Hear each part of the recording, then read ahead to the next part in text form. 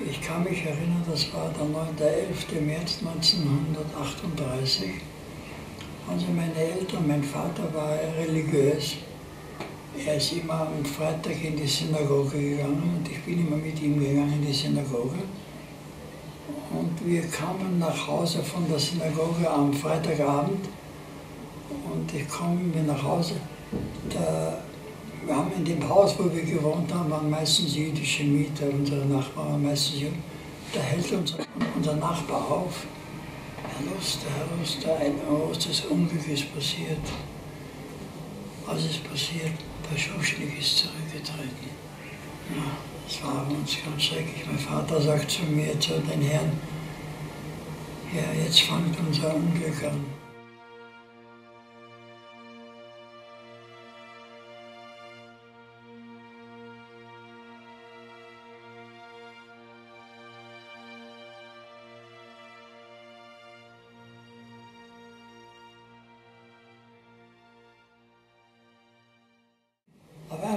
Alles. Auf einmal, war, einmal waren die Nazis da.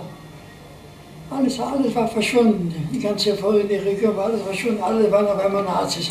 Auf einmal, jeder hat gehabt dieses illegale Abzeichen. Alle waren Nazis auf einmal.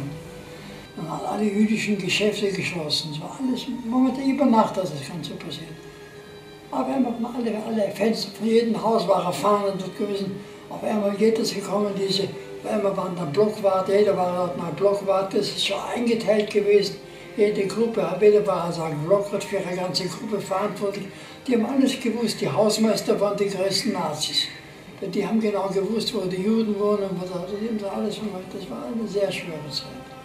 Und alle waren ganz begeistert. Und dann war ganz besonders, nach, wenn mich eine Woche darauf hin ist, der Hitler nach Wien gekommen. Ja wurden einen großen Appell gemacht, da wo sie den Hitler empfangen haben am, am, am Heldenplatz. Ja.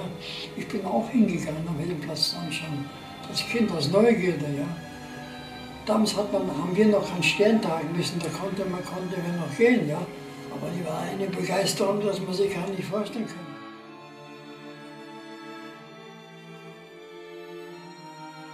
Wir sind dort gefahren, wir waren dort ungefähr eineinhalb Tage gefahren mit dem Zug. Ja und sind nach Dresden angekommen. Das war ein Bahnhof.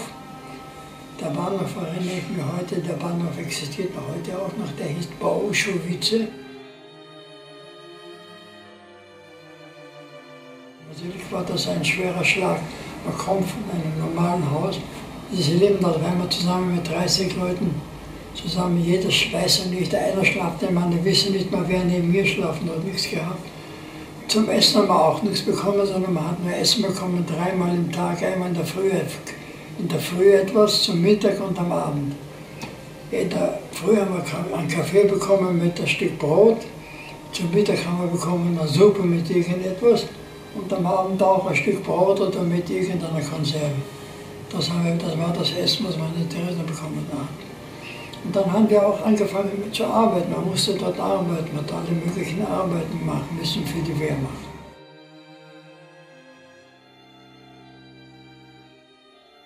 Bessere Arbeit bekommen in der Küche, ja. Das heißt eine bessere Arbeit. Die Arbeit war sehr schwer, ja, schwer gearbeitet. Man hat in der Früh aufstehen müssen, um zwei Uhr in der Früh angefangen zu kochen, ja, das zu heizen. Aber was war gut? In der Küche war genug Essen da, ja. Ja. Das kann man nicht kontrollieren. Immer haben wir was zurückgefunden zu essen. Und dadurch, dass ich in der Küche gearbeitet habe, habe ich genügend Essen gehabt. So dass ich, bei Dresden hat jeder eine Essenkarte bekommen. Jeder hat eine. Und für die Essenkarte hat man immer abgeschnitten. Wenn er Frühstück bekommen hat, man abgeschnitten Mittag. Und die Essenkarte, die ich gehabt habe, habe ich meinen Eltern gegeben, sodass sie noch eine zusätzliche Portion gehabt haben. Ich habe es nicht gebraucht, weil ich in der Küche gearbeitet habe. Habe ich genug Essen. Und oft habe ich auch viel gestohlen von den Essen, versteckten den Füßen. Irgendwie dann habe ich ihnen immer Essen gebracht, dass mein Essen so, dass die Eltern etwas genügend Essen gehabt haben. Aber um ehrlich zu sein, das, was ich gestohlen habe, das war Kosten auf anderen. Dafür haben andere weniger bekommen es, es, war, es war eine gewisse Anzahl, man hat das kontrolliert, aber was wir gestohlen haben, hat man gestohlen. Aber das war richtig auf Kosten von anderen, das ist die Wahrheit. Es waren sehr viele ältere Leute, die nicht stehlen konnten, die das nicht gehabt haben, die weniger gehabt haben. Aber das war, das Ganze war dort, das war ein Durchgangslager. Man hat von Theresienstadt die Leute weitergeschickt. Man konnte nicht in Theresienstadt bleiben. Bitte war schon gut. Wer dort geblieben ist, war schon gut, aber man kann, viele Leute hat man nach Österreich gebracht und man hat sie weitergeschickt. Und von dort hat man sie weitergeschickt, wohin? Nach Auschwitz. Alle nach Auschwitz sind diese ganzen man die überhaupt gewesen hat, nach, nach, äh, nach Minsk, nach, in die Ukraine überall verschickt. Also man hat irgendwie versucht immer, dass man nicht verschickt wird, dass man dort bleiben kann. Ja. Uns ist es gelungen, jedenfalls bis zwei Jahre waren sie, bis 1944 war ich in Theresienstadt. Dadurch, dass wir ein bisschen Produktion gehabt haben bei den, von den Zionisten, hat das, sind wir nicht verschickt worden. Aber die meisten, viele von denen, die aus Österreich gekommen sind, hat man auch alle viele verschickt. Viele sind dort gestorben an, an Krankheiten. Es war dort ein Typhus, Flecktyphus. Dann war die Enzyklo äh, dieses Enzephalitis, das war eine komische Krankheit. Die bekommt man, konnten sie, sie konnten, sie haben das Gleichgewicht verloren. Beispielsweise sie wollten immer finden, mit der Finger konnten sie nicht, konnten nie die Nase finden. Das ist eine komische Krankheit, die, die, die ist eine Krankheit, die, die, wirkt sich auf dem, auf dem, aufs Hirn aus. Ja? Das ist dann später, konnte, das konnte man nicht heilen. War, meistens viele sind dann an dem gestorben. Viele, alle möglichen Krankheiten waren dort und da. Das sind alle viele Leute, ältere Leute, die man aus Wien gebracht hat oder aus Deutschland, alle dort gestorben. Sehr, sehr viele Leute sind gestorben. Aber jeden Tag hat man nie, die Leute, die gestorben sind, hat man sie auf die Straße weggelegt, die Toten hat man sie dann alle begraben, hat man sie verbrannt. Dort war ein Krematorium, hat sie verbrannt alles und das hat man nachher die Asche haben sie dann in die Eger geschmissen, in den Fluss, haben sie nicht begraben. Wir haben nicht gewusst, wohin wir fahren. Wir hatten nicht gewusst, wir gehen auf Transport, aber wohin wir fahren, haben wir nicht gewusst. Wir haben versucht, immer von oben aus zu verfolgen, wohin wir fahren, welche Richtung. Ja? Wir haben doch als Kinder die ein bisschen Geografie gekannt. Ja? Ich erinnere mich, wir sind da durchgefahren durch Dresden. Ja? haben wir gewusst, die Richtung, ja, wir fahren nach Dresden, das heißt, wir fahren nach Richtung Osten, ja. Und langsam sind wir immer gekommen, mehr zur Tschechoslowakei. Dann, dann sind wir gekommen in die polnischen, in, in, nach Polen, ja. Haben wir gesehen, wo das sind schon polnische Stationen, ja, wir sind immer durch, auf dieser Zug Stunden, äh, waren stundenlang gestanden und sie überhaupt nicht gefahren, ja. Wir haben nie gewusst, wo wir sind am Feld gestanden, ja bis wir gekommen sind nach zwei Tagen. Das war natürlich unschwer. Toiletten haben wir keine gehabt. In den Zügen, ja, da haben wir uns gemacht, also eine Schüssel gemacht und haben dort das, äh, unsere Not verrichtet. Bis wir dort einmal gekommen sind, wo wir gesehen haben, es fängt an, das war, erinnere ich mich, es war eine, eine Bahnstation, die hat geheißen Oschwenzchen. Jetzt haben wir verstanden, wir sind in Polen, aber was das bedeutet, haben wir nicht gewusst. Und dann haben wir verstanden, aus Schwänzchen, der Zug fährt hin, her, hat von dort immer gestanden und dann langsam haben wir gesehen, der Zug wird abgekoppelt hin und dann auf einmal langsam geht der Zug rein, hat uns dort von Auschwitz in einen anderen Platz gebracht und da erinnere ich mich noch, da sind wir durch einen Tor durchgefahren und dann sind wir, dass der Zug stehen geblieben. Und dann auf einmal hat es gehört, ein großes Geschrei, alles aufsteigen, raus aus dem Waggon, raus in deutscher Sprache, raus, raus, raus, raus. Und man hat diese Waggontüren geöffnet und jeder musste aus den, aus den, aus den Waggons rausgehen. Und wie wir rausgegangen sind, haben wir gesehen, wir stehen, alles war stark beleuchtet, das war bei Nacht beleuchtet und auf einmal sehen wir sehr viele SS-Leute und da haben wir gesehen, diese Häftlinge mit diesen mit diesen äh, Sträflingsanzügen, die sind auch zu uns gekommen, raus, haben sie geredet, raus, raus, raus, raus, raus. Und die haben uns gesagt, wir sollen uns dann anstellen, in einer Reihe nach anstellen. Nur schnell raus aus, aus diesem Waggons. Das war so eine große Bastei, so ein gerader Platz, die Waggons sind da gestanden und da war gerade, und da haben wir sich aufstellen müssen. Aber von Weitem hin haben wir gesehen, hinter diesem äh, Platz, da waren Lichter, solche Stacheldraht, ja, mit, mit beleuchteter Stacheldraht. Und dieser Stacheldraht waren solche Isolations, äh, äh für das, das war so elektrisch geladener äh, Stacheldraht. Ja. Das, das haben wir erst, wenn wir das näher geschaut haben, haben wir das nicht verstanden. Aber da hat man uns verstanden zu geben, das ist ein, ein richtiges KZ, hat man uns gesagt. Also die, diese Sträflinge, die, wir, die uns da auch äh, rausgenommen haben, haben uns gesagt, wo wir uns befinden, haben uns gesagt, seid ein Auschwitz, das ist ein KZ.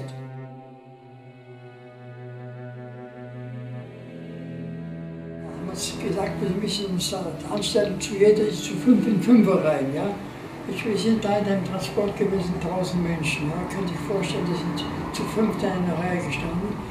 Und am Ende von dieser ganzen Reihe waren dort äh, drei oder vier SS-Leute mit einem Hund oder zwei Hunde. Und da ist einer gestanden und hat jeden was gefragt. Ja. Wir haben nicht gewusst, was. Hat immer nur gesehen, einmal so, so, so. Er hat mit der Hand gezeigt, du gehst du da und da dort. Was war die Frage? Wie alt bist du? Was machst du? Was ist dein Beruf? Das haben die gefragt. Ja. Also da haben die Jungen gesagt, da hatten, haben die Leute verstanden, wenn einer dort geht, das heißt, einer ist leichte Arbeit und eine schwerere Arbeit. Also die meisten älteren Leute haben gesagt, äh, gehen zu einer leichteren Arbeit. Haben sie gesagt, ja, leichtere Arbeit. Oder haben gesagt, intelligenter Leute haben sie alle, hat, gehen rechts, links. Aber die haben nicht gewusst, was das ist. Ja? Aber das später hat sich also herausgestellt, der auf die eine Seite gegangen ist, für die schwere Arbeit, die sind am Leben geblieben. Das war meistens die Jüngeren, die anderen, weil die rechts sind alle zum Vergasen gegangen. Das haben die alle nicht gewusst. Das hatten wir, nachdem wir dort gegangen sind, nachdem wir von dort weggegangen sind und wir sind dort ringsherum gegangen, sind wir, haben uns geführt, diese, diese Häftlinge, ja, haben uns gesagt, haben sie gezeigt haben, das war dort das große Krematorium, wo diese Flammen rausgegangen sind, haben gefragt, was ist das? Sagt sie, sagt sie, hat er uns gesagt, jetzt diese Leute, die dort, die dort nach rechts gegangen sind, die gehen alle dorthin zum Vergasen, die werden alle dort rausrauchen von dem Rauch dort im, im Krematorium. Das ist uns noch nicht, das konnten wir damals noch nicht begreifen, was das wirklich ist. Mein Vater ist auch auf die andere Seite gegangen, aber ich habe hab das nicht begriffen, dass ich ihn dann zum letzten Mal in meinem Leben gesehen habe.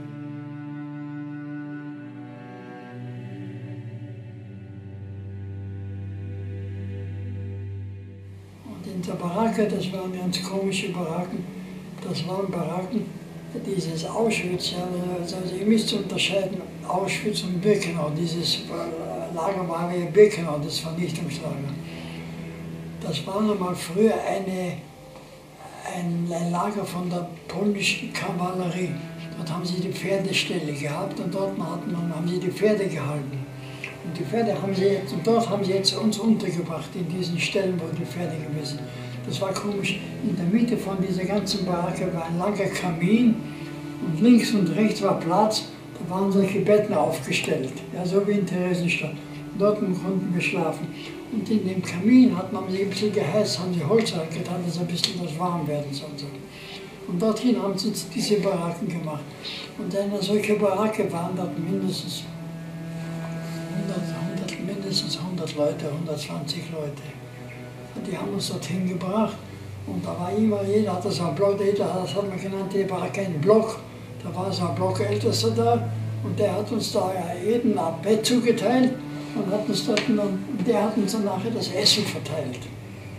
Von ihm haben wir in der, Früh bekommen ein Stück Brot und, und ein Stück Margarine und da da ein bisschen Kaffee. Das haben wir von ihm. Das war der Blockhalter, der war verantwortlich für diesen ganzen Block. Aber er ist dann rumgegangen und hat geschaut, ob wir gute Schuhe haben, hat uns die Schuhe weggenommen und hat uns andere Schuhe gegeben.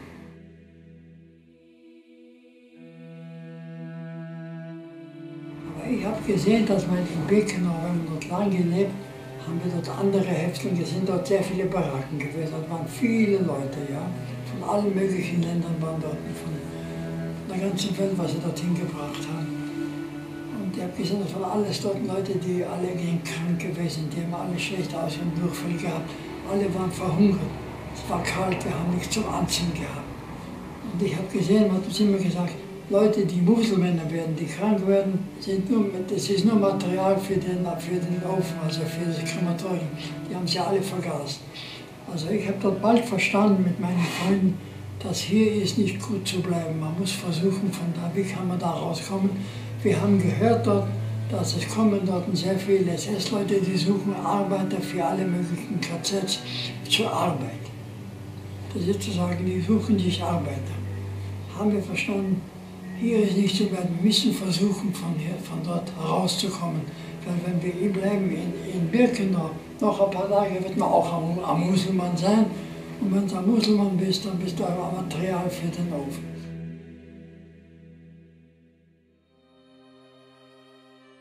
Und es ist uns, haben wir, wir haben uns natürlich zusammengehalten. Wir waren Freunde aus Wien, wo wir noch weiter auch diese ersten, diesen Transport überlebt haben, ja, haben wir zusammengehalten. Und wir haben dort äh, beraten, was wir machen, also wie können wir hier nur herauskommen. Und da war wirklich, sind da gekommen, es Leute, man hat angefangen zu suchen, Schlosser, Tischler, Elektriker, alle möglichen Fachleute, ja. Und da haben wir uns beschlossen, wo irgendetwas kommt, wir melden uns, dass man irgendwie von da rauskommen soll. Und das ist wirklich so gekommen, wir haben, das haben sie einmal gesucht, Schlosser gesucht und wir haben uns gemeldet, da waren noch fünf oder sechs Freunde, weil wir zusammen waren, geschlafen haben, haben uns dabei gemeldet und man hat uns genommen, man hat uns akzeptiert als, äh, als Schlosser, wir, wir gehen dorthin. Wir haben nicht gewusst, wohin, was gar nicht. Schlosser, wohin haben wir nicht gewusst. Also man hat uns dann mal genommen, da haben wir bekommen andere Kleider, etwas wärmere Kleider, bessere Kleider. Und da, und da wurden wir tätowiert. Da haben wir damals diese Nummer bekommen. Und diese Nummer hat uns bedeutet, dass wir, zu, dass wir zu Aus, zum Auschwitz, äh, Auschwitz war ein Stammlager, dass wir zum Stammlager Auschwitz gehören. Und uns hat man gebracht, sind wir auch in einem Zug gebracht worden und man hat uns dort gebracht, da sind wir nicht allzu lange gefahren, ich, einen halben Tag nach Kleibitz gefahren. Das ist nicht allzu weit, vielleicht 30, 40 Kilometer von dort. Dort hat man uns gemacht, das war ein richtiges KZ, aber ein Arbeits-KZ. Sehr streng, ein sehr strenges Lager, richtiges KZ. Das war auch ringsum Stachelgraten, elektrischer, elektrischer Stachel ringsum mit diesen Wachtürmen. Und uns hat man gebracht, wozu hat man uns gebraucht? Die haben uns gebracht dorthin nach Gleiwitz. In Gleiwitz war ein großes Ausbe eine Ausbe Ausbesserungsrecht von, von, von, der, von der Reichsbahn, von der Deutschen Bahn. Dort hat man die Eisenbahnwaggons repariert von der Deutschen Bahn, von der Deutschen Reichsbahn. Das war eine riesig große Halle, was soll ich Ihnen sagen? Das waren vielleicht 20 oder 30 Schienen ja, hintereinander. Und der Länge nach konnten vielleicht sieben oder acht oder zehn Waggons stehen. Ja. Könnt ihr euch vorstellen, das Ganze war gedeckt. Ja. Eine riesig große Halle. Und dort waren dann immer ganze Werkhalle, wo die Maschinen, Schweißapparate und alle Apparate gewesen, mit denen äh, Schlossarbeit machen konnten. Ja. Bei den Wagons sind da sehr viel bombardiert worden. Da hat man hin, das hingeschleppt und die welche, welche beschädigt worden sind. Die hat man das hingemacht und wir mussten diese reparieren. Das war eine sehr schwere Arbeit, hat man Beispiel die, die ganzen Teile rausschneiden müssen mit Schweißbrenner und nachher hat man das zusammengebaut mit Nieten. Das war eine sehr, sehr schwere Arbeit gewesen, das zu machen.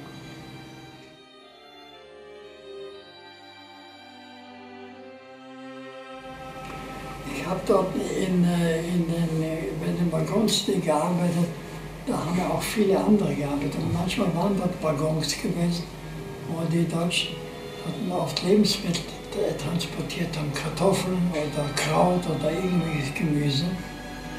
Und oft sind immer solche Sachen liegen geblieben, ja. Und die haben das nachher gefunden dort, die, ja, die, die Häftlinge haben das gefunden. Ich habe als Schweißer gearbeitet und ich habe so einen Topf zusammengeschweißt, so eine Art Topf. Und die haben mir solche manchmal gebracht, manchmal Kartoffeln oder Kraut oder was haben die mir das gebracht. Aber sie waren doch Menschen, wenn doch was nicht zu essen war, das schmutzig und alles. Haben sie mir gesagt, komm, bring das am Wasser rein. Wir haben das, ich habe das mit dem Schweißbrenner gekocht, die Kartoffeln gekocht. Und was war das Gute davon? Ich habe die haben die daneben das gebracht. Die haben die Hälfte bekommen und ich habe die Hälfte bekommen. Da haben wir etwas, etwas mehr Essen gehabt. Das hat mich ich bin da einmal erwischt worden von einem SS-Mann, wie ich da gekocht habe, diese Kartoffeln gekocht habe. Hat er mich aufgeschrieben, hat mir nichts gesagt, hat die Nummer aufgeschrieben. Ich habe schon gewusst, das ist für mich eine schwere Sache. Es kann jetzt passieren, dass wir mich zurück, zurückschicken nach Auschwitz. Aber das Risiko gehabt. Aber das war dann nachher so. Ich habe dann eine, am Samstag hat man nicht gearbeitet. Am Samstag, da habe ich eine Strafe bekommen, da habe ich bekommen 25 mit einer Laste bekommen. Mit, einem Schlauch, Peitsch auf den Hintern haben sie mir 25 Schläge bekommen. Als Strafe, dass ich das gemacht habe. Ich war schon mit dem zufrieden, dass man mich nach Auschwitz geschickt hat.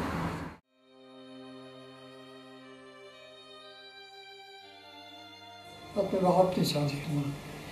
Oh, jeden Tag, wenn ich gesehen habe, Toten gesehen habe, hat bessere Kleider, hat er ein bisschen weggenommen, ein bisschen für mich genommen. Es hat mir gar nichts gemacht, jemanden auszuziehen, die, die Hose an Toten und mir das anzuziehen für mich. Das hat mir nichts ausgemacht. Um mir meine Situation besser zu mir, dass es mir besser gehen soll. Ich war mit allem, wirklich, das, das ich an alles angewöhnt. Das war das, das Schlimmste vom Schlimmsten. Das hat mir gar nichts mehr ausgemacht. Man wollte nur eins überleben, das ist alles.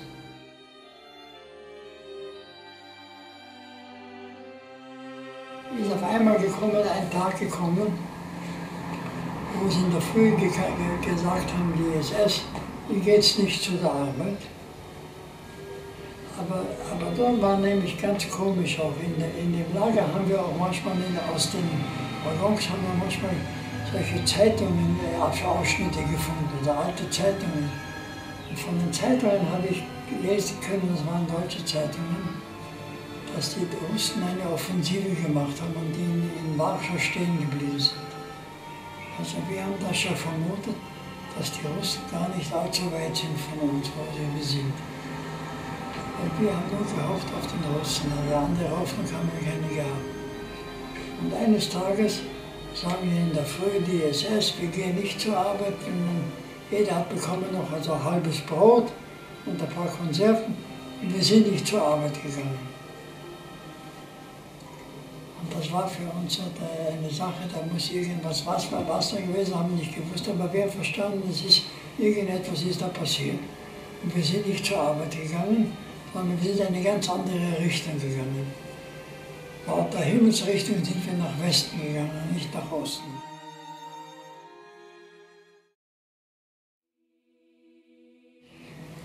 Und wir sind dann weitergegangen. Wir sind da gegangen, zu Fuß gegangen, Richtung Westen. Wir sind gegangen, gegangen. Die Leute haben keine Schuhe gehabt.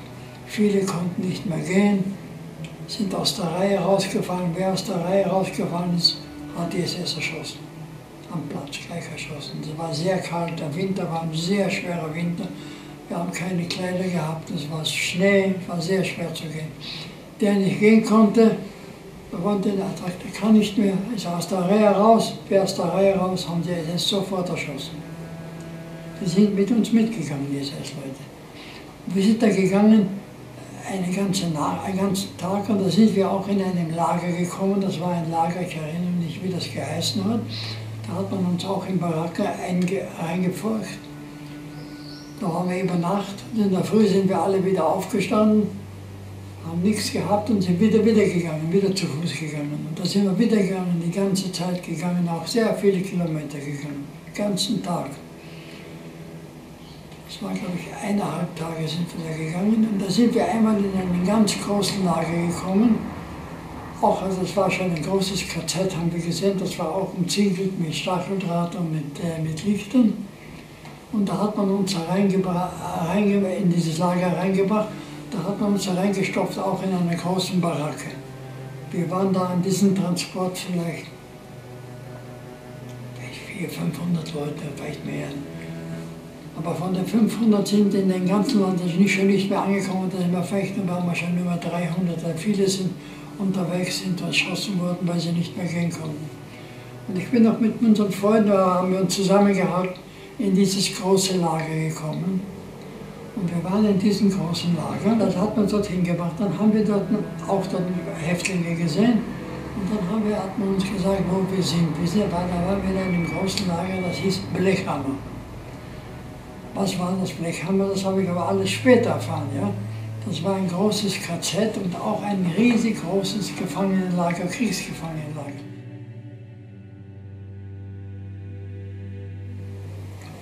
Und in diesem Lager, in dem Blechhammer, hat man uns über Nacht, gelassen. Wir waren alle todmüde, tot, konnten kaum gehen, die Füße waren angeschwollen. Wir haben beschlossen, da hat man uns angefangen zu rufen. Dort war ein großer, in jedem Lager, in jedem KZ war immer ein großer Appellplatz, wo man die Leute aufgestellt hat zum Zählen. Also in der Früh hören wir dort wieder Antritt zum Appell. Alle, die hingekommen sind, Antritt zum Appell. Und wir haben unsere Freunde haben wir beschlossen, wozu sollen wir weitergehen und plagen, noch einmal wieder diese Kilometer gehen und am Weg erschossen wird. Wir werden hier bleiben, wir werden nicht weitergehen sollen machen, das ist, wir werden hier, wir gehen nicht zum Appell, wir gehen nicht weiter. Und wir haben das wirklich so beschlossen, dass wir dort bleiben und gehen nicht weg. Aber was war unser Glück bei der ganzen Geschichte? Man hat uns in eine Baracke reingetan. Das war in dieser Baracke, das war ein Magazin von Sodawasserflaschen. Dann Kisten mit Flaschen mit Wasser. Was das war, nicht mit Wasser. Uns hat man dort in, in, dieses, in diese Baracke reinge, reingepfercht. Diese Baracke, die war voll mit diesen Kisten, aber war für uns noch Platz, haben wir dort in dieser Baracke übernachtet. Und wir waren in der, haben wir gesagt, wir bleiben hier, wir gehen nicht weg, haben wir beschlossen, alle untereinander, wir gehen nicht weg. Das hat keinen Zweck zu gehen ob man erschossen wird, hier oder dort. Man hier braucht man nicht gehen unterwegs. Das ist eine große Plage zu gehen, weil wir nicht mehr gehen können. Und, äh, und da waren wir, haben die angefangen, früh diese Leute da zum Appellplatz zu gehen und zu sehen, die Leute, viele sind auch nicht rausgegangen. Haben die angefangen, sehen, dass die Leute kommen aus den Baracken nicht heraus, haben sie die Fackeln, haben sie Fackeln auf die Baracken gelegt und haben die Baracken angezündet die haben angefangen zu brennen.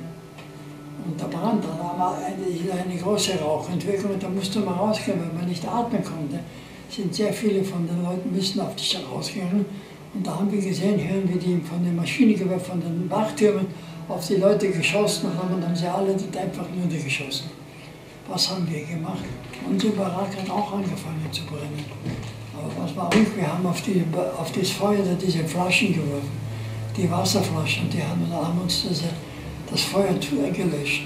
Und sie haben keine Rauchentwicklung gemacht, sodass wir in der Baracken bleiben konnten. Jedenfalls ist nachher, später nachher so geworden und unsere Baracke hat sich, das Feuer hat sich gelöscht und wir waren in der Baracke. Wir haben sich nicht rausgetraut, den Kopf herauszuziehen, wir sind da drin gesessen. Wir sind dann den ganzen Tag dort drinnen geblieben in der Baracke und haben den Tag überhaupt nicht, nicht gemacht, hat sich nicht getraut rauszugehen. Nach einem ganzen Tag, wo Ruhe war, haben wir sich getraut rauszugehen aus der Baracke. Da haben wir gesehen, dass der Appellplatz voll war, voll Leichen und gelesen, das sind alle die Leute, die sie von oben, die aus der Baracke raus sind, die sie da erschossen haben. Haben sie die da geschossen. Aber auf den Wachtürmen haben wir keine SS-Leute gesehen. Es war Ruhe da. Wir waren alleine. Aber wir waren hungrig. Essen braucht man, wir haben noch Essen wollen. Was macht man dann? Wir sind da langsam rausgegangen. Das meine Freunde, die waren auch schon so müde, die sind gegangen. Ich bin da rausgegangen und noch ein Freund von mir, wir sind da rausgegangen und haben angefangen zu suchen hier. Und da haben wir dann auch solche KZler gefunden, die schon die ganze Zeit in dem Lager gewesen sind, die sich auch versteckt haben. Und wir haben gefragt, wie, wo ist haben die uns gesagt, ja, da oben gibt es eine Baracke, dort ist ein Magazin, dort gibt es bestimmt Brot. Und die sind alle dorthin gegangen, dort wo diese Baracke ist. Und die haben diese Baracke aufgebrochen. Da habe ich gesehen, da waren auch schon ein paar Häftlinge, die haben aufgebrochen und haben, dort, die haben sie wirklich Brot gefunden. Ich bin dort auch hingelaufen mit denen dort suchen. Und wir haben dort wirklich Brot gefunden. Jeder hat versucht, dort reinzukommen, die Barke, jeder wollte dort äh, Brot haben, etwas nehmen. Ich habe auch Brot genommen. Und was will das Schicksal? Haben sich viele Leute dort reingenommen. Jeder wollte aus der Baracke rausgehen. Auf einmal steht dort draußen ein SS-Mann mit einer Maschine. Und jeder, der dort rausgehen will, fängt an zu schießen auf die Leute mit auf dem Boot. Ich war dort drinnen in der Baracke, wie kommt man da raus mit dem Brot? Und der steht und schießt. Ich weiß allein nicht wie, als ich angefangen auf die Leute, die rausgehen, die erschossen hat, die niedergefallen, es hat sich angefangen, so einen Berg von Leichen zu machen Verletzten. Ich habe, ich weiß nicht, irgendwie, Ich habe mich auf, den, auf diese Menschen darauf geworfen und der Hessmann hat aufgehört zu schießen.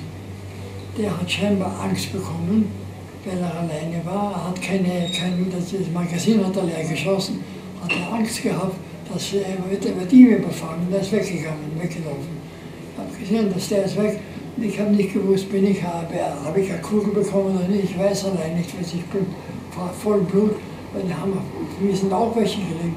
Ich habe mich dort rausgekrabbelt aus diesem Haufen von Menschen, habe mich betrachtet, habe gesehen, ich bin ganz und ich sehe, ich kann gehen. Bin da draußen gegangen, ich stehe, ich kann gehen, das heißt, ich, ich bin nicht getroffen worden. Habe da ein, zwei Brote genommen und wollte da zurücklaufen zu, meinen, zu unseren Freunden. Und das habe ich auch gemacht. Und inzwischen, wie, wie, wie, ich, wie ich dort laufen wollte zu meinen Freunden mit dem Brot, haben mich andere Häftlinge überfallen, haben gesehen, dass ich Brot habe, haben mir das Brot weggenommen, so dass ich nichts gehabt habe. Also was habe ich gemacht? Dasselbe habe ich gemacht, habe ich wieder einen anderen gesehen, der Brot hat, habe ich ihm auch das Brot wieder weggenommen.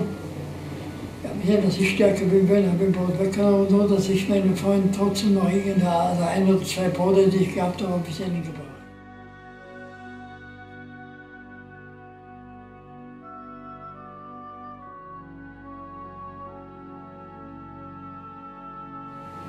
Wachtürme waren alle nicht bewacht und die Tore waren offen. Das heißt, die, waren, äh, die Scheibe haben die scheinbar den Strom ausgeschaltet. Es war niemand da. Wir haben keine SS-Leute gesehen, niemanden gesehen. Und da haben wir meinem Freund gesagt, schau, wenn wir sehen, wir müssen mal schauen, wo wir überhaupt sind. Und ich bin mit meinem Freund, der war, er ist etwas älter wie ich gewesen, vielleicht äh, sieben, acht Jahre älter wie ich, sind wir aus dem Lager herausgegangen. Wir waren mehr oder weniger, inzwischen haben wir schon, inzwischen haben wir von den Toten, was wir gesehen haben, gute Schuhe genommen, haben wir weggenommen und bessere Sachen genommen, die wir gehabt, die wir gefunden haben. Wir haben, der hat besser waren welche, die haben bessere Kleider gehabt, bessere Schuhe. Schuhe war das Wichtigste. Haben wir sich genommen, haben uns das angezogen und wir sind aus dem Lager herausgegangen. Und wir sehen, das Lager ist in einem großen Wald. Ein riesig großer Wald. Der Wald war richtig dunkel. Das Tageslicht war fast kein Tageslicht, so dunkel war das ganze Wald. Gehen, wir müssen schauen, wo, wir wollten wissen, wo wir überhaupt sind. Wir wussten noch nicht, wer gesagt, Weghammer, was das ist, haben wir nicht gewusst. Und wir gehen dort drin in, das, in diesen Wald herein. Auf einmal sage ich, hören wir von Weitem ein sehr starkes Motorgeräusch. Autos. Sage ich Wort ist kommen da, die Wehrmacht kommt da zurück, was man da machen will. Das erste Mal, was er machen ist, gehen wir in den Wald rein. Wir sind von der Straße weg, in den Wald ein bisschen bergauf gemacht, so dass man uns von der Straße nicht aus sehen kann. Sind wir in den Wald hinauf, ein bisschen, ein bisschen höher aufgegangen und sind dort abgewartet und haben von weit gehört das Motorgeräusch. Und wir sehen, das Motorgeräusch kommt immer näher, näher, es kommt immer wir haben nicht gewusst, ist das oder was das ist. Wirklich, die kommen immer näher. Auf einmal sehen wir von Weitem, sehen wir dort solche Militärfahrzeuge. Und ich sagte zu meinem Freund, diese Fahrzeuge schauen nicht aus wie die Deutschen, das schaut irgendwie anders aus. Das, ist, das sind keine Deutschen. Da ist ein aufgemacht die Tür und da ist einer ausgestellt, mein Soldat. Nachdem wir angezogen waren, habe ich verstanden, das muss ein Offizier sein, er hat also oben gehabt. Ich schaue ihn an, das muss ein russischer Offizier sein. Und ich sagte den Russen, Russisch haben wir nicht verstanden, sage ich, was ich gelernt habe, sage ich ihm, ich bin ja, ja, Jid. Ja, froh, dass er sagt, ich bin jüdisch. Ja, Jid, Jid. Ich habe das ein paar Mal gesagt. Dann geht er runter, schaut uns an. Ja, Jid, ja, Jid. Dann sagt er, sagt er zu mir, ja, Tuschis, dann sagt er zu mir, ich bin auch jüdisch. Ich habe das nicht verstanden. Es war für uns die größte Überraschung. Er hat uns verstanden, was wir ihm gesagt haben, ja, Jid. Und er sagte, er ist auch jüdisch. Aber das haben wir erst später erfahren. Auf Russisch sagt man nicht Jajit, man sagt Hebräer. Aber er war von den Eltern Russen noch, die Jüdisch gesprochen haben. Von den Eltern Offizieren. Da waren sehr viele Offiziere, jüdische Offiziere, die waren die sogenannten Dolmetscher gegenüber den Deutschen, die haben sich gut verständigen können. Und der hat uns Jüdisch angesprochen. Und ich sage, wir sind Jüdisch, wir sind hier in einem neuen KZ und da sind sehr viele Lager da. Und da hat er uns, äh, er war dort dieser Kommandant, der war in der ersten, er war der Kommandant von diesem ganzen Konvoi. Und die haben ihn dann reingeführt in dieses Lager, diesen äh, Soldaten. Und er hat das Ganze dann einfach übernommen, hat den Soldaten gesagt, was sie machen sollen. Und die haben das Ganze gleich übernommen dort, haben gesehen, was dort ist zu machen. Und da sind gekommen, dieser Offizier nochmal gekommen zu uns, hat gesagt, hört zu, ihr könnt hier nicht bleiben, weil wir vermuten, die Deutschen, die werden eine, eine Gegenoffensive machen und die können noch einmal in die, in die Hände von denen fallen. Geht's nach dem Osten zurück nach Polen. Ihr könnt hier nicht bleiben, ihr müssen da weg. Also haben wir keine andere Möglichkeit gehabt, dann sind wir einfach gesagt, ihr müsst mit uns gehen. Und die wirklich von der Weg haben wir gefunden, also ein Handwagen, haben wir mögliche Sachen da gepackt, auf diese Sachen. Und mit denen sind sie zu Fuß gegangen, Richtung nach, Rück nach Polen, nach Polen zu gehen. Da sind wir zurückgekommen nach Kleiwitz, bis nach Kleiwitz. Äh, da sind wir zum Beispiel, sind wir auch eigentlich, sind wir da nicht zu Fuß gegangen, zum Teil sind wir ja mit der, mit der, mit der Bahn gefahren weil die Russen haben die Bahn sehr, sehr schnell äh, organisiert, haben sie die, die Züge, haben sie die Schienen breiter gemacht und haben ihre Züge gebracht. Da sind wir mit diesen Zügen gekommen, bis Gleiwitz gekommen. Und da waren wir in der Stadt Gleiwitz, wo wir vorher im Lager gewesen sind. Haben wir auch mögliche Sachen gehabt, da haben wir dort noch in ein, sind wir einfach in ein Haus reingegangen das waren dort Deutsche gewesen, haben wir die einfach rausgeschmissen. Wir wollen da hier wohnen. Da waren wir alle unsere Freunde, die wir uns zusammengehalten haben, haben wir wollen hier wohnen, haben wir die Deutschen rausgeschmissen. Das waren alles Wasserpolaken. Das waren halb Deutsche, halb Polaken. Aber die haben Angst gehabt, weil diese war schon alles besetzt von den Russen, weil die Russen sind schon so weit vorgekommen. Haben wir dort das Haus besetzt, wir waren dort einen Tag, zwei, dann sind wir von dort auch weggegangen. Wir sind dann von dort weitergefahren nach, nach Polen gefahren, bis nach Krakau. Mit dem Zug, mit dem Zug sind wir nach Krakau gefahren und waren dort in Krakau. Krakau war schon von den Polen, die hat schon eine Regierung gehabt. Dort haben sie, war aber sehr schlecht. Man musste aber dort für alle Sachen bezahlen. War der Tram, alles ist gegangen, aber wir haben kein Geld gehabt. Was haben wir gemacht? Haben wir die ganzen Sachen, die wir mit uns mitgeschleppt haben, haben wir angefangen zu verkaufen. Haben wir das zu Geld gemacht, ja. Für jede Sache, für ein Jackett, für Hose, was wir gehabt haben, haben wir verkauft. Und von dem Geld haben wir Essen gekauft. Aber wir sind bald einmal nicht, haben wir kein Geld gehabt und keine Sachen gehabt. Und da waren wir wirklich hungrig. Von den Polen haben wir nichts bekommen. Wir waren dort beim Roten Kreuz, aber die haben uns auch nicht viel geholfen. Und da sind wir zu den Russen, da haben die Russen dort ein, so eine Art Lager gemacht für diese Flüchtlinge. Wir haben gesagt, wir haben dort sehr vorsichtig sein müssen, weil die Polen und die Russen waren sehr, sehr misstrauisch, weil die alle geglaubt haben, wir sind deutsche Soldaten, wir sind desertiert und wir sind äh, eigentlich deutsche Soldaten.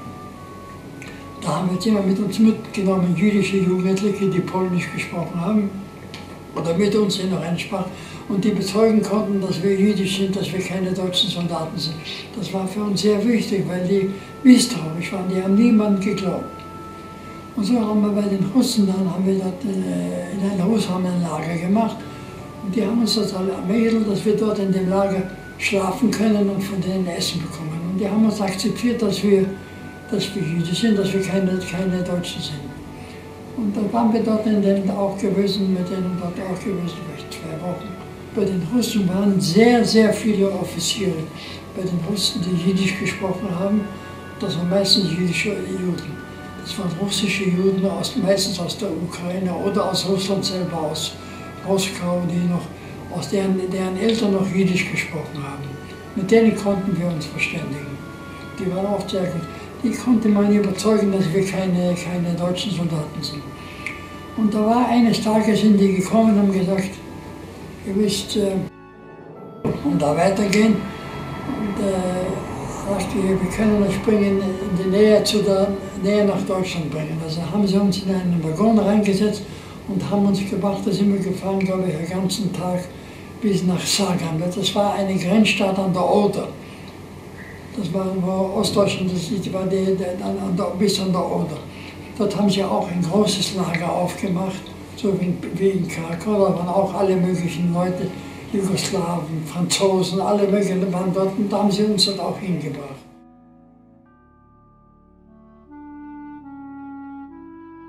Einmal bis zum 8. Mai, das war genau der 8. Mai, da haben wir gehört, das war die Schießerei, haben wir gehört, das ist das Kriegsende. Dort habe ich auch in, in Zagreb haben wir dort noch Zeitungen schon gesehen, dass in Österreich hat, eine, hat sich eine Regierung gebildet unter, unter Renner. Dass dort gibt es eine, eine Regierung, weil damals Wien war schon besetzt von den, Öster, von, den, von den Russen besetzt. Das haben wir alle schon in den Zeitungen dort gelesen. Und am 8. Mai sagen die Russen dort, der Krieg ist zu Ende, Ihr geht, wohin ihr wollt. Jeder kann gehen, wo ihr wollt. Da waren Franzosen, Amerikaner, also wollt. Jeder soll gehen, wo er will. Wir unten waren dort frei. Was, was machen wir? Wo, wo sollen wir gehen? Wir waren dort in der Nähe von Sagan. Und äh, wir nehmen den Zug, haben wir beschlossen, wir fahren nach Berlin, in eine, große Stadt. Da haben wir beschlossen, wir fahren nach, äh, mit diesen Zügen, die die Russen gemacht haben, fahren wir bis nach, äh, nach Berlin.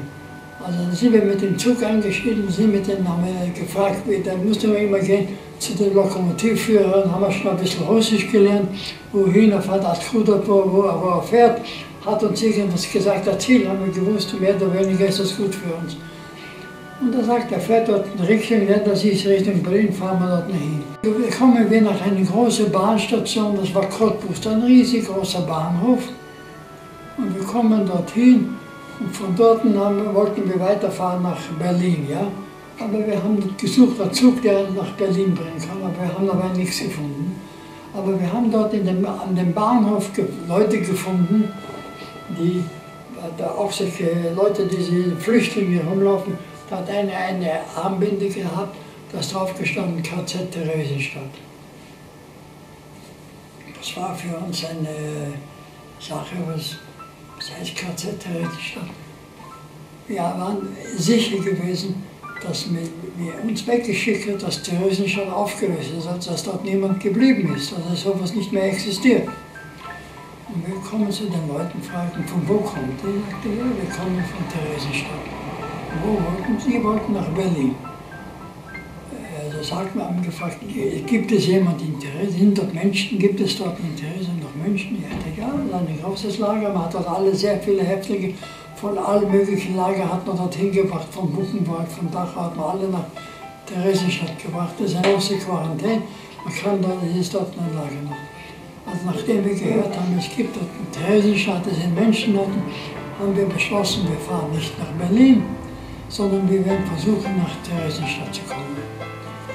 Das haben wir gemacht und haben wir von Cottbus versucht, einen Zug zu finden, der in Richtung Dresden fährt, zur Aussicht zur tschechischen Grenze. Und das haben wir wirklich gefunden, das war ein Zug, und sind wirklich bis zur tschechischen Grenze gekommen. Und dort hat man uns, sind wir rausgegangen und dann sind wir über die Grenze rübergegangen in die Tschechoslowakei nach Aussicht. Und dann haben wir verlangt, wie kommt man dort nach, äh, nach Dresden, dann nach, zu dieser Bahnstation Bauschewitz. Das war nicht allzu weit, das ist vielleicht 30 Kilometer. Und die Tschechen sind mir in den Zug reingegangen und wollten auch von uns Geld haben, sagen, wir haben kein Geld, wir sind Flüchtlinge. Also die haben uns fahren lassen bis, bis nach Bauschewitz. Wir sind dann bis Bauschewitz gekommen. In Bauschewitz sind wir runtergegangen und sind dort, von dort zu Fuß raufgegangen. Drei Kilometer, wir sind da draufgegangen. Wir kommen nach Theresienstadt, wir sind dann dort die Mauer ringsherum und das wird alles wieder bewacht von der, von der tschechischen Gendarmerie. Die Gendarmerie sagt, wir wollen dort reingehen. Sagt sie, nein. Sagt sie, Steuer, da gibt es keine ist Quarantäne, man kann nicht reingehen, das ist der Typhus da, hier kann man nicht reingehen. Also wir mit denen verhandelt, mit denen, die unter keinen Umständen kann man reingehen, bis wir voneinander gesprochen haben und sich ein Ultimatum gemacht haben, dass wir einverstanden, wir gehen rein, aber wir gehen nicht mehr raus. komme zurück auf Sagan, ja. Mhm. Dort waren auch dort Zigeuner, waren dort viel. Was haben wir nichts zu tun gehabt? Was machen Zigeuner? Zigeuner tun Karten, die machen gerne jeden Karten auflegen. Bei uns hat man auch, auch äh, Karten aufgelegt. Da war eine Zigeunerin, die legt mir Karten auf und sagte zu mir, du hast eine Mutter. Sag ich, naja, welcher Mensch hat keine Mutter? Sagte zu mir, du hast eine Mutter, deine Mutter lebt. Ich habe vorhin ein Blödsinn erzählt, die hundert von sicher, meine Mutter lebt. Und dasselbe hat sie noch drei von meinen Freunden dasselbe gesagt. Sagt sie auch, du hast eine Mutter. Und ich sage, alle drei sagen, ja, guck an, die Zigeuner machen sich, machen sich lustig über uns. Aber ich erzähl uns die Geschichte. Du glaubst an diese Karten, du glaubst an diese ganze Geschichte. Was will der Zufall? Wir kommen nach der Rösenstadt, ja. Wir sind dort reingegangen, ich gehe dort in, dort rein in die Stadt herein, treffe ich einen Elternherrn, der ein Freund meines Vaters war. Und da sagt er zu mir, sag, du warst schon bei deiner Mutter? Ich schaue ihn blöd an, sage ich, was für Mutter? Sag ich, habe deine Mutter hier gesehen. Das kann doch nicht sein. Ich habe deine Mutter, weißt du, wo sie wohnt? Ja, weiß nicht, aber ich habe sie gesehen, kann nicht, kann nicht sein. Also ich war ganz verschockt, ganz, wie kann das sein, wenn die Mutter lebt, das kann nicht sein. Ich bin dort, bin dort in die Evidenzstelle gegangen und habe dort gerne fragen, wo meine Mutter lebt, ob sie wirklich lebt und wo sie, wo sie wohnt. Bin dort wirklich hingegangen, habe dort wirklich gefunden, man hat meine Mutter gefunden. Meine Mutter hat in Dresden gelebt, hat eine andere Adresse gehabt und hat mir die Adresse gegeben, wo sie wohnt, in welcher, in welcher Straße und in welchem Haus. Und ich bin dort hingegangen besuchen. Ja, ihr könnt euch ja vorstellen, dass ich, Überraschung, dass ich meine Frau und meine Mutter hat auf einem Dachboden gelebt, hat ein Bett gehabt und hat sie mit einer Frau zusammengelebt, deren Sohn ein guter Freund von mir war, der, wo ich weiß, dass er umgekommen ist. Es wird nicht kommen, dass ich am Leben das könnt ihr euch vorstellen, diese, diese, diese Begegnung zwischen mir und meiner Mutter, das könnt ihr euch nicht vorstellen habe sie so umarmt. Es war schrecklich, ich konnte, ich konnte nicht drehen und meine Mutter konnte nicht drehen.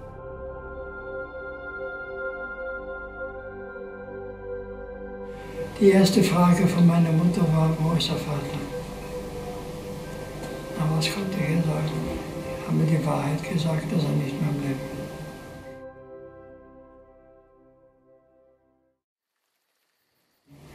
Und dann ihre, diese Dame dort, die neben mir äh, zusammen gewohnt hat, fragt mich nur, wo ist mein Sohn?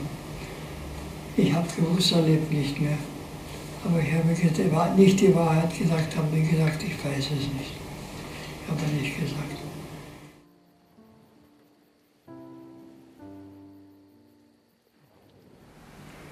Wir sind dann nachher interessant geblieben.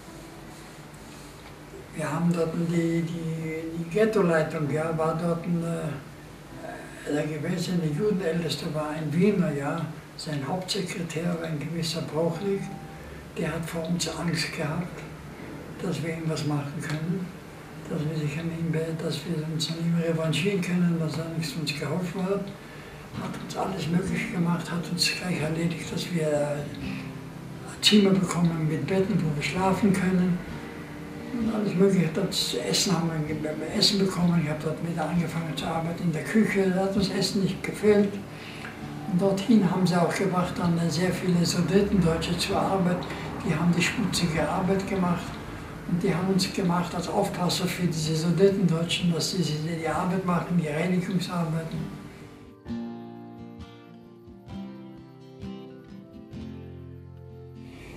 Jedenfalls, wir sind dann, ich bin dann mit einem Freunden von, von Theresienstadt aus wollten wir nach Wien fahren. Das war schon, der Krieg war schon zu Ende, das war schon Juni. Juni, Juli war das, wollten sie nach, nach, wollten nach Wien fahren, aber das war unmöglich, direkt zu fahren, weil alle Grenzen gesperrt waren. Die einzige Möglichkeit, um nach Wien zu kommen, war nur über Bratislava. Na, wie kommt man nach Bratislava? Also wir sind von Theresienstadt aus nach Prag gefahren mit der Bahn nach Prag. Und von Prag mit, der Nacht, mit einem Schnellzug nach Bratislava. Eine ziemlich große Strecke. Was haben wir gemacht? Wir haben da Geld bekommen, da hat uns das erledigt und haben das gemacht. Ich weiß nicht, wie man. Aber wir sind nach Bratislava gekommen. Wie kommt man, jetzt sind wir schon in Bratislava, wie kommt man nach Wien? Die, warum hat man es nach Bratislava geschickt? Und dort ist die Grenze, war die Donau. Die, über, wenn man über die Brücke rüberkommt, dann kommt man nach Hainburg. Ja? Das ist ganz in der Nähe über die Brücke rüber. Ja? Also wie kommt man nach Hainburg? Die Brücken sind alle gesprengt gewesen.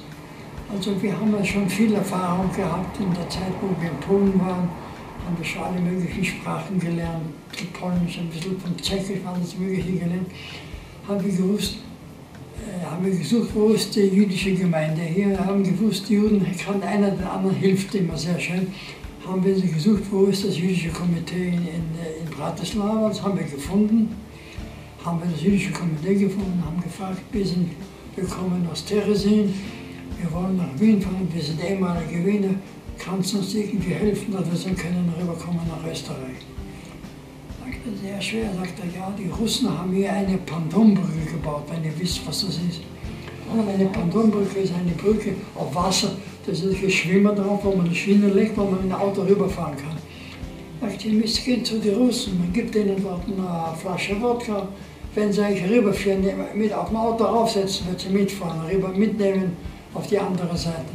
Na, wir wollen nicht mal Wodka, wir haben kein Wodka, wir haben nichts. Juden, einer hilft dem Zweiten, haben sie uns Wodka gebracht und haben uns geholfen, haben uns vermittelt mit den Soldaten dort, mit den russischen Leuten, haben uns vermittelt, dass sie uns auf ein Auto raufsetzen mit einem Militärauto. Dann sind wir nicht alle gefahren, sondern wir sind dann nur, glaube ich, vier oder fünf Leute sind, Leute sind wir gefahren. Die anderen sind sehr in geblieben. Die waren in keinem solchen guten Zustand, dass sie fahren können. Und wir sind mit den Russen da über die, auf den Auto rübergefahren auf die andere Seite nach Hainburg. Ich kann euch vorstellen, der, der, der, der Chauffeur von dem Auto, der war besoffen. Der Vater von, von Tambon, das Auto hat nur so schmal, nur wo die Räder fahren kann. Ich habe gefahren in die Donau mit dem Auto. Aber sind drüber gekommen auf die andere Seite. Wir kommen rüber schon No, das war schon, haben wir schon in Österreich gemacht. Einmal kommen wir dann endlich in der Nähe von Wien, das war in Schweckert, war eine große äh, äh, eine Sperre. Dort war eine große Kontrolle. Wer nach Wien haben sie nur von dort aus haben sie kontrolliert.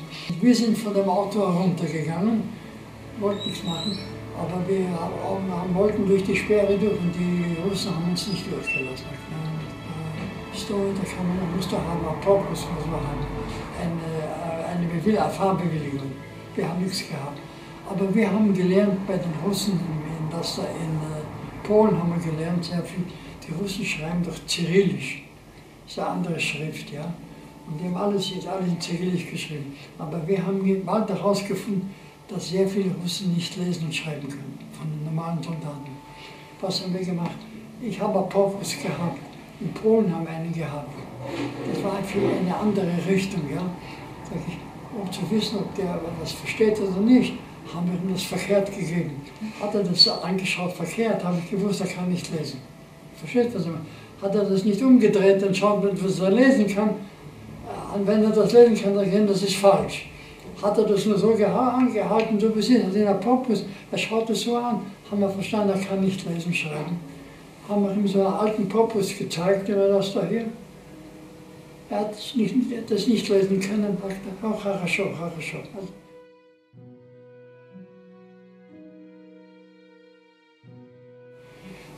war, für mich war ich sehr enttäuscht. Ich bin dort gegangen in Wien in das Haus, wo, wo wir gewohnt haben, um das zu sehen. Ich will noch voraussagen, ich habe damals, wie ich nach Wien gegangen bin, habe ich eine britische Uniform gehabt, ohne Hoheitszeichen. Und die habe ich gefunden im Blechhammer. Das waren sehr warme, sehr warme Jacken, die, die, die aus Wolle waren, sehr angenehm.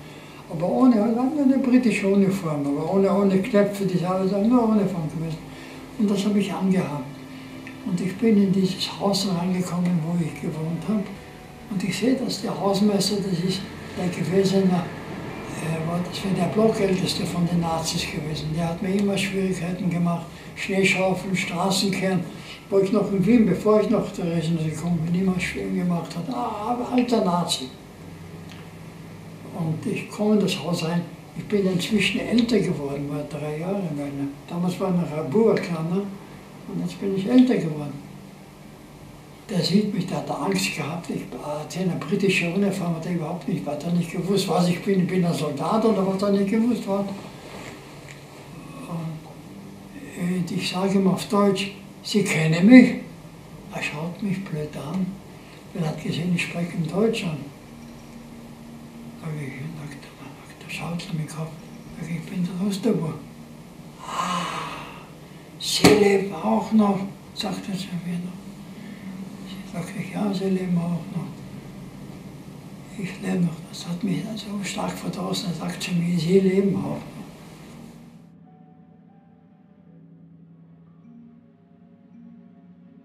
Es hat mir auch in Wien nicht gefallen. Ich wollte nicht hin. Wir waren dann, war ich auch noch bei einer christlichen Familie, wo mein Vater äh, Schmuck, äh, Goldschmuck äh, zurückgelassen hat. Dann gesagt, wenn wir überleben, werden sie mal zurückgehen. Und ich bin dort hingegangen, die haben irgendwo in der Stadt gewohnt, ich bin dort hingegangen. Der Mann ist umgekommen, die Frau hat mir nichts zurückgegeben, sagt, ja, die Russen haben alles weggenommen, sie haben. Ich habe kein Gefühl gehabt für alle Sachen, ich brauche das nicht. Mir ist das Leben mehr wert, wie diese ganzen Sachen und haben 100 Todesattack. Aber ich war, mein Entschluss war, in Wien habe ich nichts verloren. Und ich bin wieder zurück nach Theresienstadt zu meiner Mutter. Da sind wir schon, aber auch illegal wieder nach zurück. Da sind wir, haben wir dort ein, ein Auto gemietet. Wir sind mit, mit dem Auto, mit einem Lastauto bis nach Lundenburg gefahren an der Grenze. Und dort haben wir über die Grenze haben wir geschwommen nach Brünn gefahren. Und dann sind wir von dort mit dem Zug nach, äh, nach Theresienstadt gefahren. Ich war dann in Theresienstadt und habe zu meiner Mutter gesagt, Mutter, immer, Mutter haben sie gerufen, dort haben wir nichts verloren, die Sachen, was der gelassen hat, das ist nichts mehr da. Und dort fahren wir nicht mehr zurück, da hast du nichts versucht, wir brauchen das nicht mehr. Und wir haben versucht zu kommen, nach in die amerikanische Zone zu kommen. Und so sind wir auch von, war eine Möglichkeit von Theresienstadt aus mit einem Transport in die amerikanische Zone zu kommen. Ein Teil von Deutschland, der von den Amerikanern besetzt war, da waren wir in einem DP-Camp, einem, einem äh, Flüchtlingslager, das war in, in Nieder Niederbayern. Dieses Lager hieß Degendorf. Das war ein äh, DP-Camp und dort sind hat man uns von Theresienstadt gebracht. Da waren auch sehr viele von meinen Freunden in Wien dort. Und dann hat man auch von Polen, von, der, von, äh, von der Tschechoslowakei, von, äh, von Deutschland sehr viele dorthin gebracht in diese Lager. In diesem DP-Camp, das war ein, schönes, ein sehr schönes Camp, da waren wir vollkommen frei. Das wurde verwaltet von der IRO, ja, von der Internationalen Flüchtlingsorganisation und später vom Joint. Ich habe dann angefangen dort zu arbeiten. Ich war dort ver, ver, verantwortlich für einen Motorpool von den Autos und ich habe angefangen zu habe dort verantwortlich, meine Mutter hat dort ein, äh, Zimmer anbekommen, so eine Wohnung. Meine Mutter, haben dort, ich habe dort gearbeitet, ich habe dort angefangen Geld zu verdienen. Ich war dort in diesem Camp ungefähr vier Jahre, bis 1949. Ich war dort sehr oft, habe ich dort, ich bin dort meistens immer noch hingekommen am Wochenende. Ich habe einen großen Teil in Regensburg gearbeitet, dann habe ich später in München gearbeitet. Im Motorpunkt, das war für diese internationale Organisation. Aber ein gutes Leben gehabt, ich habe Geld verdient, ich konnte alles kaufen, was ich wollte. Ich habe alles gehabt. Es hat mir nichts gefehlt. Wirklich war eine sehr, sehr schöne Zeit gewesen.